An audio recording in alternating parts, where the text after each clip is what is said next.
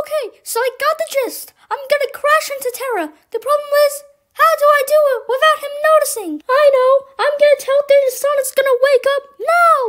Hey, Venus. Oh, what is it now, dear? I mean, jerk. The sun is gonna wake up.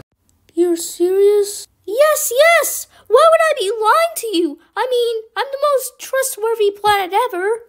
Okay. I just know this isn't gonna end well. Hey, Mars! Ah, get away, you murderer! Ooh, Jupiter, push me to Terra, please. Well, your free trial of one gravitational push has just ended 20 seconds ago. If you want to get another push, just pay us 90,000 asteroids every three Mercury revolutions. Jerk!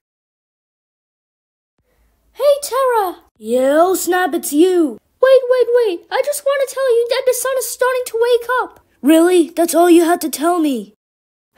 He's so easy to deceive. Now, it's time to come back and destroy him with me. Cannonball Terra! What? Wait, what?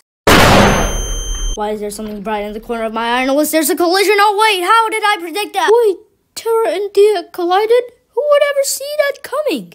What? Well, the first official planetary death besides the hundreds of mini planets I've killed. It was a big event. The collision sent debris of both planets flying everywhere. The planets merged to make a new super planet. He had no name yet, but you'll see next episode.